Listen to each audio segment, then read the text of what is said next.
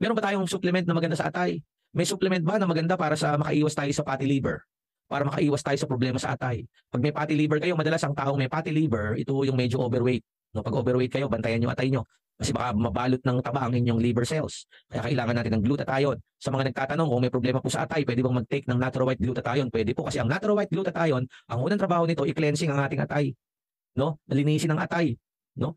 Uh, tulungan kayo para matanggal yung nababalot na taba sa atay o kung ano man yung toxin na nasa atay. Ang glutathione is detoxifier, liver detoxifier. Isa hanggang dalawa nito maghapon, two times a day is very good. Sabayan nyo ng Ultima. At kahit na tanungin natin ng mga eksperto, makikita niyo lagi nilang nire-recommend yan, sabay vitamin C and glutathione. Maganda yan to improve your mental focus and clarity, athletic performance and recovery. Maganda yan para sa liver and cells. At syempre, may bonus pa na pampaganda at pampapogi. pampaganda at pampapogi. Hindi ka lang lumulusog, hindi ka lang uh, lumalakas, gumagwapo ka pa at gumaganda ka. Kaya isa yan sa paborito ng marami. No?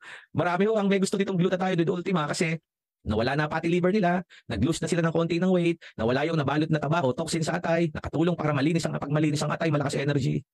Pag malinis ang atay, maraming benepisyo yan guys. May mental focus and clarity, athletic performance and recovery. Napakarami pong ganansya pagka kayo ay nagtitake ng Natural White Glutathione Capsule.